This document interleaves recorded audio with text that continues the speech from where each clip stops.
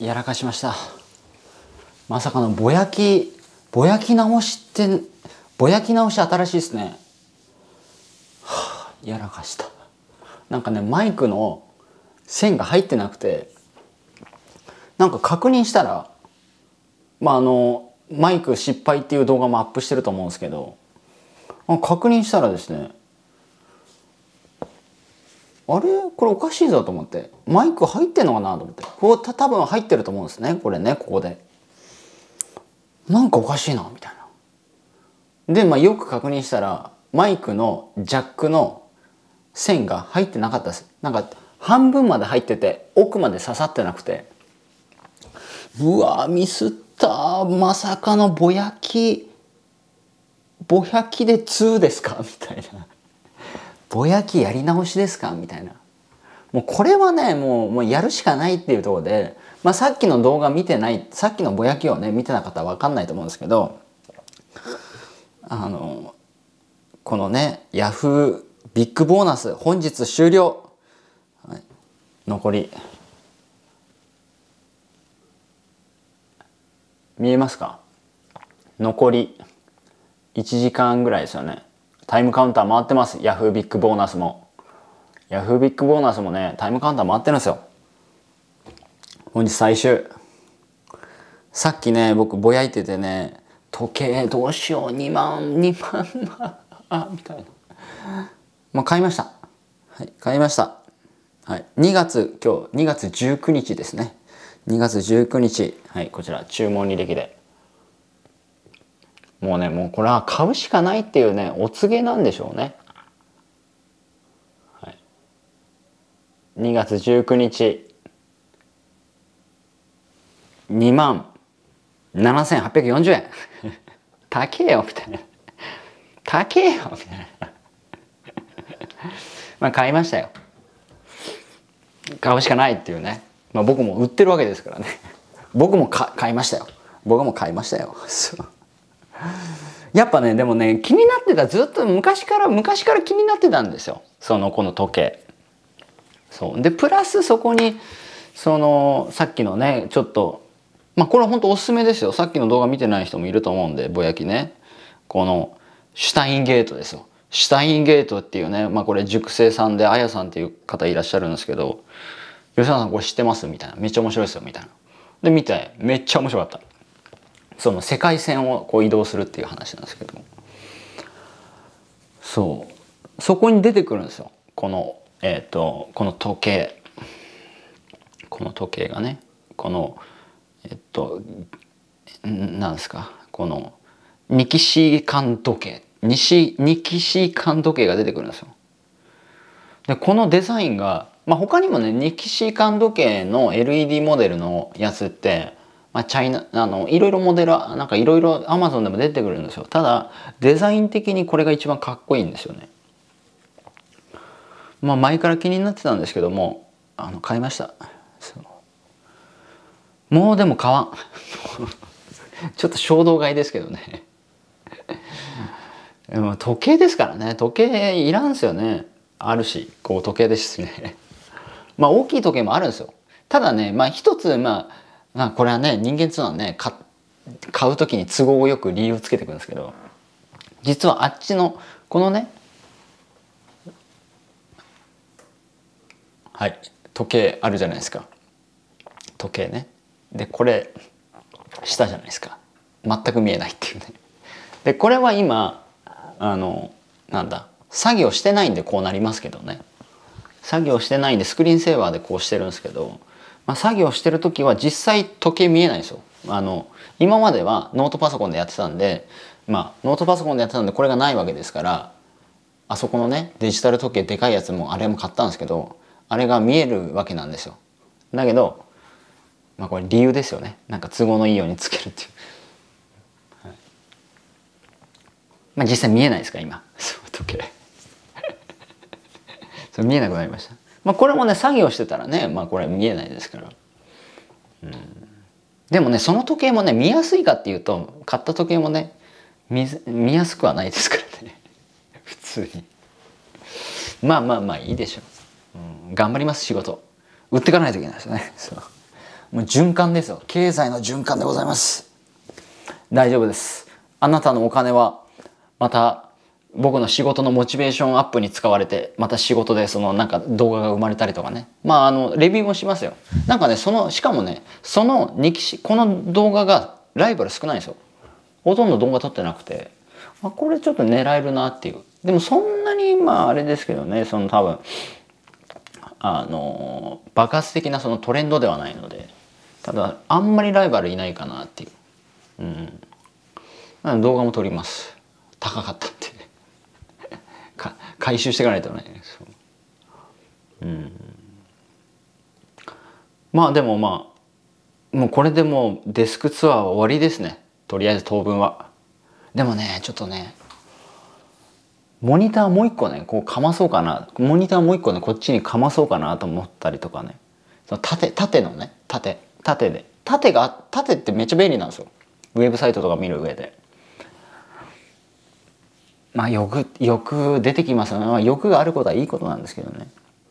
でも欲っつっても仕事に使うなんかまあ時計は仕事じゃないか。でもまあここに置く置きますからね。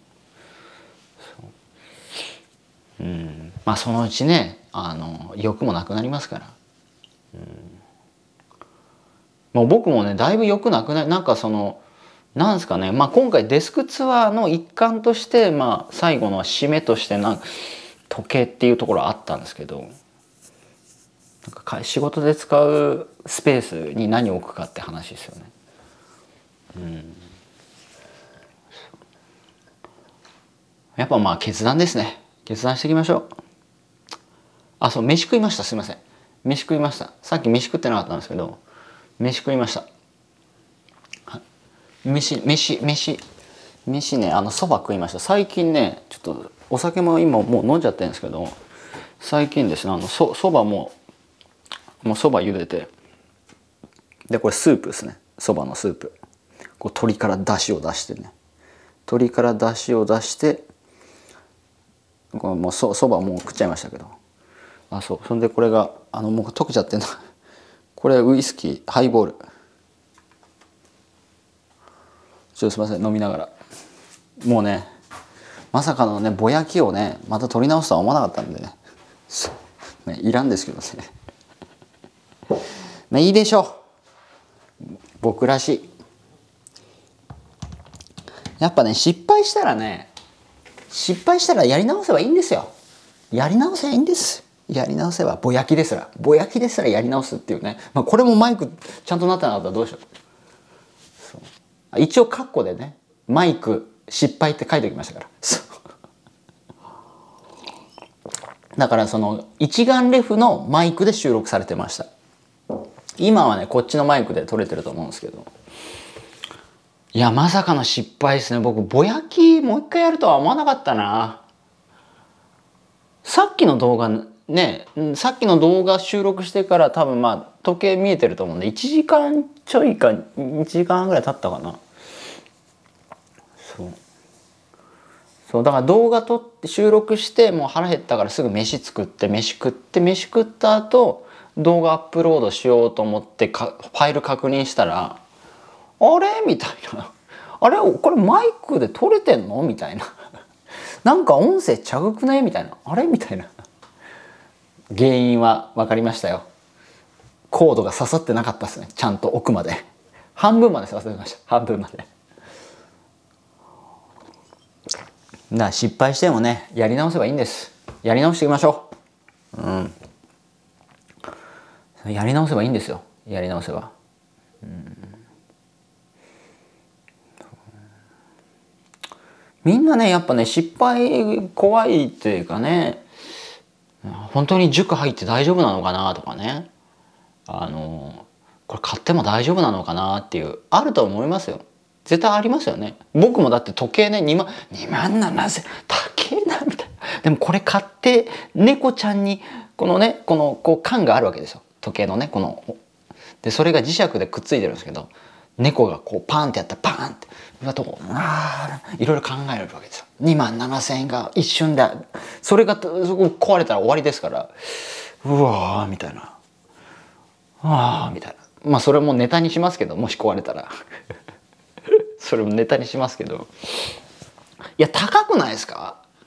たかが時計ですよ、まあ、たかが時計っていうか、まあ、時計時間は大事ですから。時間は大事なんですけど。あれは高えなみたいな。これ2万7,000円ちょっと高えだろう、まあ、ちょっとまあちょっと回収しないといけないんでこれ。あの動画撮りますけどいっぱい。いっぱいは撮んねえか、まあ、何個か撮ろうかな。うん。まあでもねまあちょっとうん。2万7840円。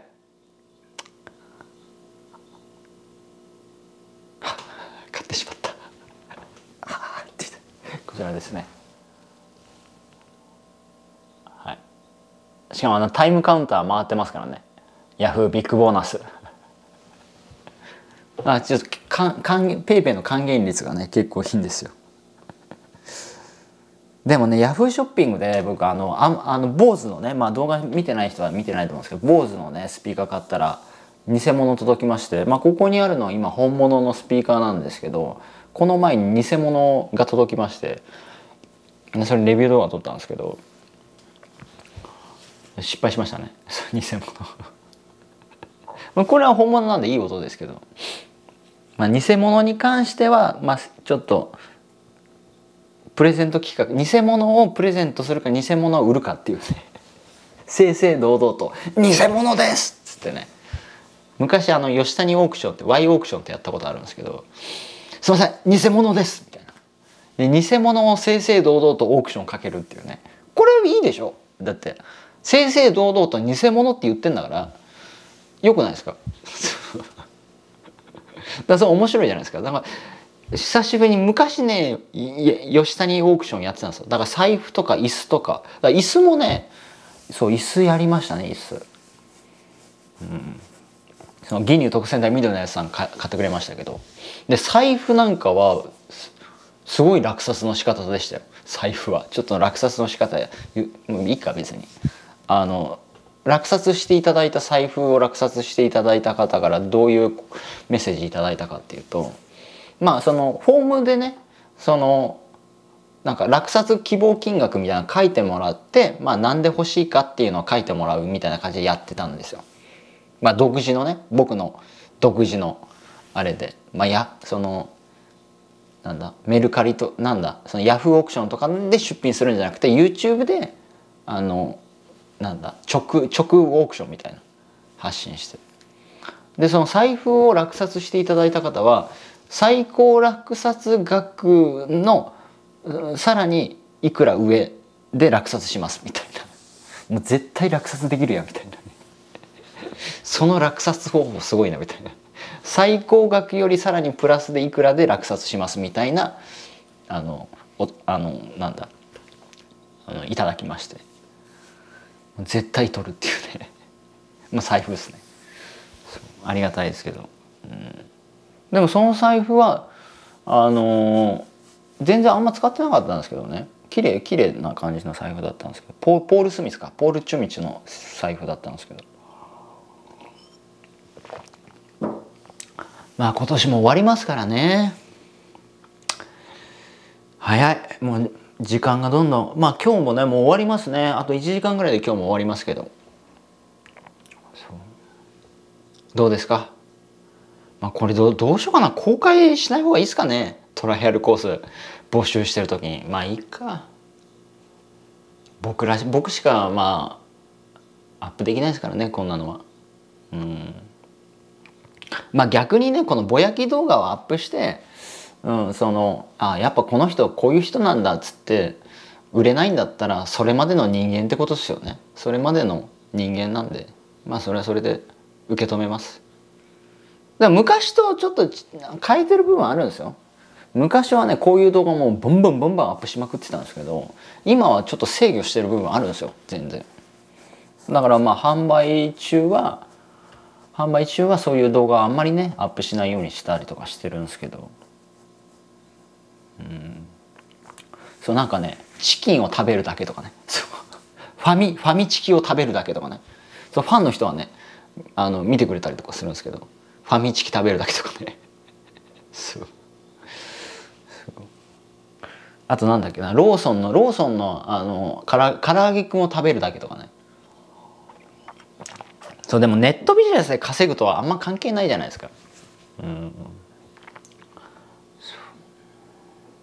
まあまあでもいろいろ8年やってきていろんなフィードバックいただいたんで、まあ、今年最後ですからね。特別に。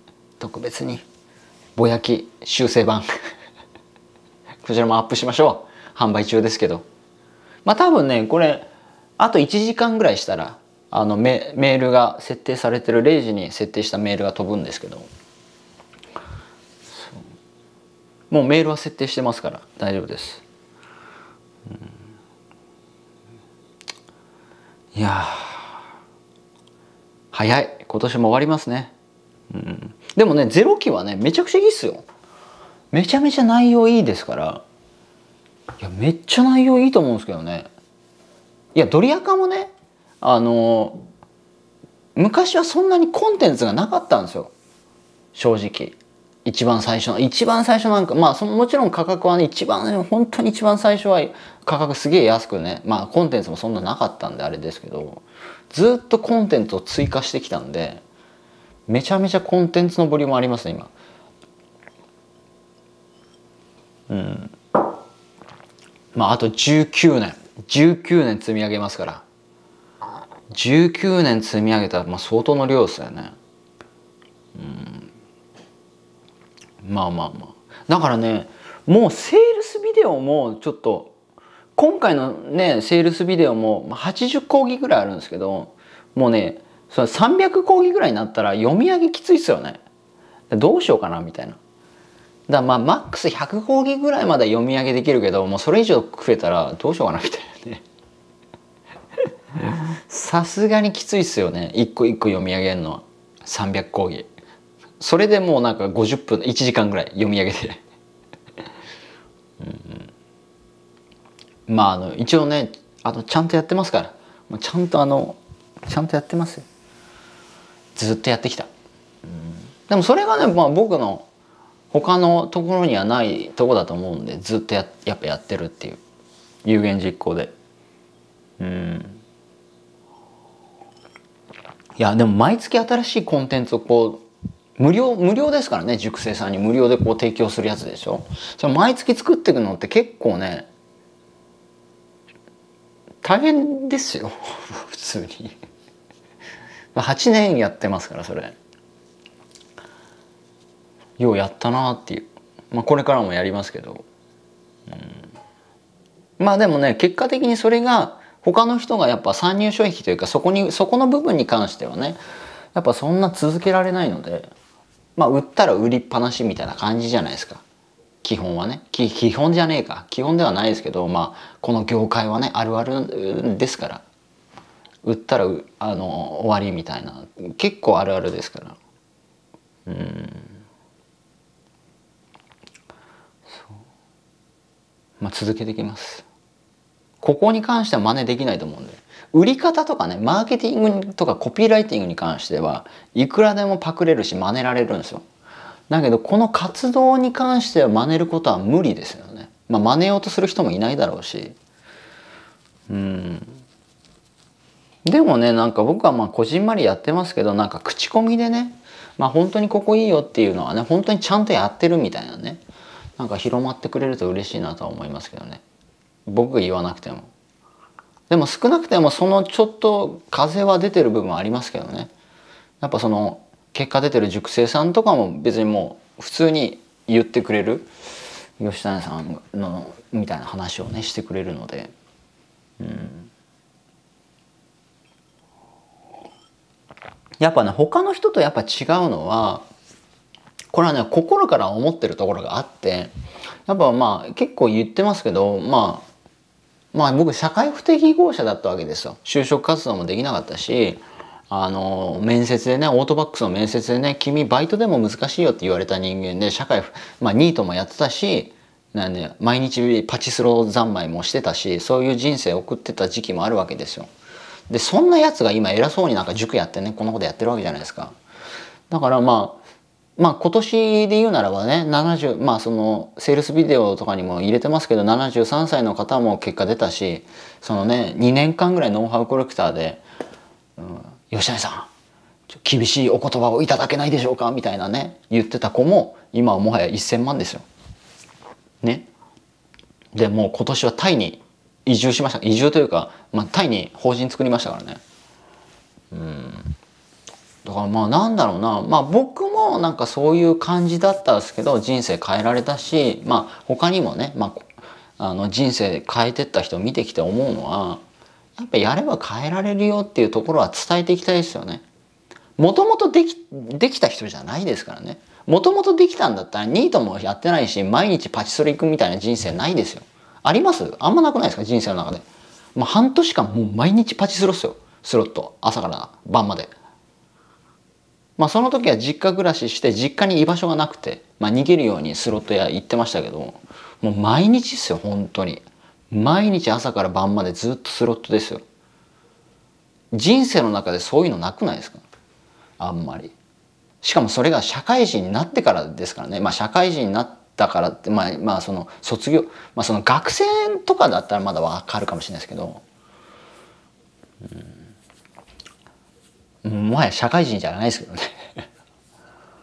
うん、だからそんな僕を救ってくれたのがやっぱネットビジネスなんでネットビジネスにすがってますよね僕は。もうネットビジネスしかねえみたいな話で。でもなんかいろいろ勉強してきてまあ学校の勉強とかしてこなかったけどもうんこれは価値はあるなと思いますねネットで稼ぐっていうところに関しては勉強する価値は。学校の理科とか、まあ、人それぞれご意見あると思いますけどもなんか理科のビーカーでリトマス紙で酸性アルカリ性とかねなんかなんかそういう勉強するよりかはね僕はいいと思いますけどね僕はね。うん、だっていまだにね僕漢字書けないですからね。字も汚いし。うん。字とかめっちゃ汚くないですか？漢字も書けないし。もう漢字覚える気全くないですけど。だいなんか普通の人が見たらなんかまあ頭おかしい人だなと思われるかもしれないですけど。でもそれでも飯食ってますからね。まあ、正直そのなんか一般の人が憧れるような生活は一応できてるとは思うんですよ。漢字汚ね漢字も書けねえし字も書け汚ねえしみたいな。うんでもね僕より頭がいいというかなんだろうなその漢字が書けるだから学校のテストですよね学校のテストがちゃんとできたっていう人ですら今じゃあ社会人になって自分が思うような生活できてんのかっていうとまあそうでもなかったりするわけじゃないですか。多分僕ねよく言ったりとかしますけどこの動画見てるあなたの方が頭いいはずですよ。この動画を見てるあなたよりね僕頭悪いんですよ。その学校の勉強は多分。間違いなく。中学校のね三者面談も一番不良が行く頭悪い学校にもね行けないって言われましたからね。うん。なんか学校の勉強に関しては本当にやってこなかったし今もやろうとは思わないしその漢字も勉強しようとも思わないし、うん、だけどネットで稼ぐ部分に関してはまあ本もね何千冊も読みましたし勉強しましたよ。でもこんな話するとその勉強してるのになんで漢字書けないんですかってまあ言われたことあるんですけどそもそもマーケティング例えばねマーケティングの本を読むためにその本を読む目的って別に漢字を覚える目的で読んでないんで。まあまあ意見はあると思いますよ。本そんだけ読んでるんだったら漢字書けてもいいじゃんっていう。でもその漢字を書くために読んでないから、うん、目的がね。それを理解するって話なんで。そうそこで書かれてる内容を理解するみたいな話ですよね。うん、まあまあ僕からあの言えるのは漢字書けなくてもまあ自由にやってますっていうね。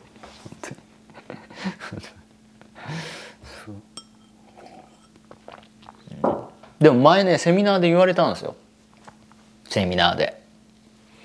あそれプレゼントしてもいいかな前ね何回何回かプレゼントしたんですけどセミナー前やってたんですけどその僕し僕を知らない人が来たんですよ要はなんか紹介経由で。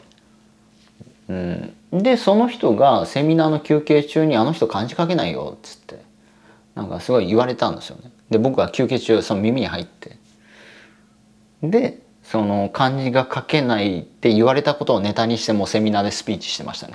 さっき休憩中あの漢字が書けないって言ってましたけどみたいな。うんあそれプレゼントしてもいいな漢字が書けない事件。そう。漢字が書けないっていうね。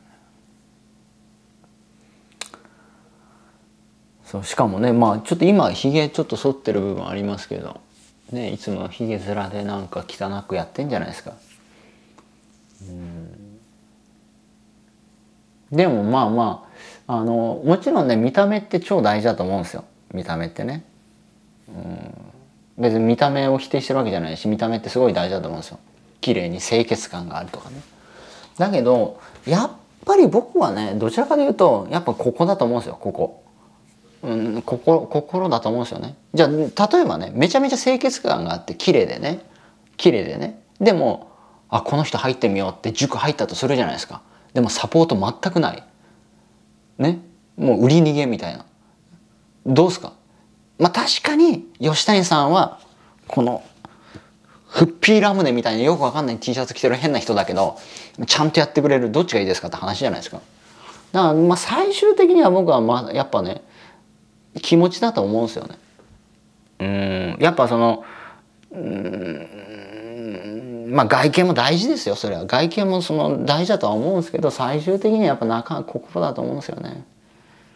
うんだ逆に言うとまあ僕がそういうのは知ってんすよ。いろいろ見てきたしその知ってるし。だけどなんでこれやってるかっていうと外見で半中僕の話だだって編集もしてないじゃないですか。編集もね。編集の仕方も知ってますよ。やってきたし。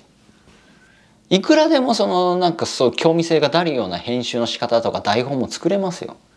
なんだけどうんなんか僕の本当に心から出る言葉を聞いてもらってねそこで感じてる感じてくれる人にまあ入ってほしいなとかね、まあ、あの商品買ってもらいたいなと思ってるしその LP もね普通だったらプレゼントみたいなページね作るわけですよ。僕起業してから作ってないですからね。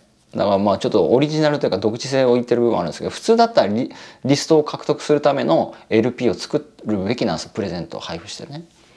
今ブログでやってるだけですから。うん。なんでそうやってるかっていったらそういういろんな意図もあるわけですよね。うん、28分か。結構ぼやけましたね。よかった。いいいいぼやきができてるんじゃないですか？ちょっとお酒も入ってますけど。これやり直し。これ修正版なかったらこの話は出なかった。やっぱ失敗はネタですね。失敗は失敗だけど失敗はネタになるってことですよこのぼやきはね失敗してなかった。ら生まれてないわけですから。はい。ということでまあトライアルコースね。この動画は何時ぐらいかな？明日の多分お昼まあ夜かお昼か分かんないですけどそれぐらいに公開されると思いますけど、うん、あのゼロ規制ね。もうもうやりませんので。興味ある方はね。まあこんな僕ですけど。あの内容はしっかりやってますんで。このフッピーフッピーラムネですけどね。内容はしっかりやってますんで。熟成さんまあまあ結果出てる、まあ、だって1億プレイヤーも出ましたからね。まあまあやってますよ、うん、と僕は思ってます。まあこれそれに慢心せずね、まあ、日々やってきますけど、うん、はい。ということで、えー、メルマガまだ登録されてない方は登録しておいてください。フッピーラムネ。